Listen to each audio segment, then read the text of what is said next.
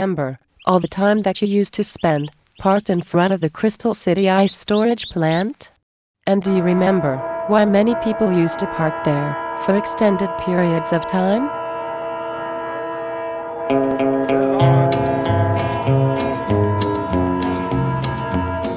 I hear the train a it's around the bend, and I ain't seen the sunshine since I don't know when. I'm stuck in Folsom Prison, and time keeps dragging on. But that train keeps rollin' on down to San Antone.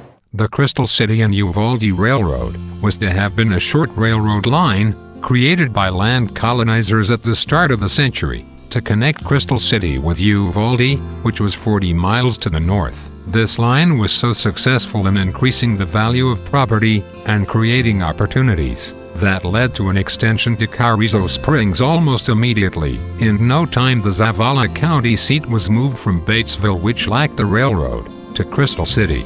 Colonizers would buy more ranches, subdivide them, and attempt to create viable towns and farms. Soon, they would meet with the CC&U to provide cash to extend the line farther east to Fowlerton. San Antonio, which had the Missouri Pacific Line running to Laredo, met with Corpus Christi and approached CC&U to extend the line through San Antonio to Corpus Christi after this merger was completed. The line was renamed the San Antonio, Uvalde, and Gulf Line or S, A, U, and G Line which was nicknamed the Sausage. Establishments like Pulliam and Washer between Uvalde and La Pryor, or Zacate and New California between Crystal City and La Pryor could have become other towns. Then there was Las Vegas, next to Big Wells. Not to be confused with Las Vegas.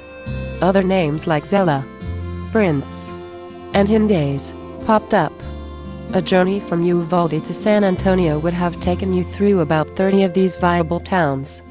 And yes, to go from Uvalde to San Antonio, you would have to go through Crystal City and Big Wells.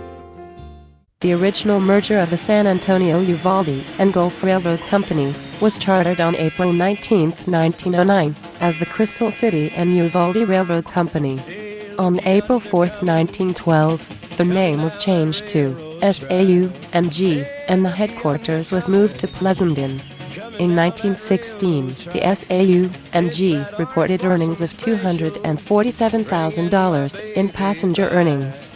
Freight earnings were $434,000.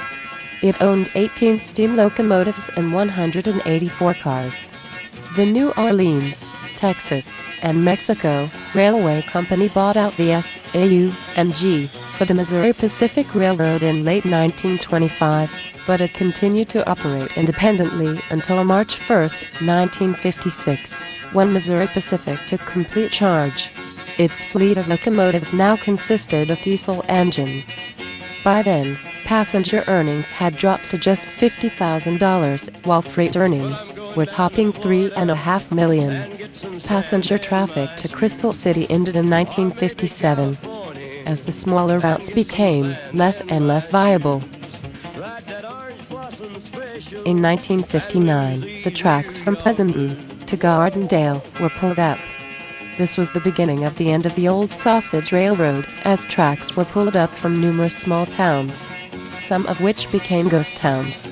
Recovering its original name, the Crystal City Railroad attempted to keep the western leg open from Uvalde to Carrizo Springs, but it only lasted two years and the old Crystal City Railroad died in 1992. May it rest in peace. Improvements to the area's road system and strong trucking competition led to the decline of freight by train. Painter Bus Lines stepped in to handle the passenger bus service for the area. A bus driver named Clem would come to town every day, going past the Masons building to the Cowan Hotel where the bus depot resided. The Painter bus service was eventually discontinued also.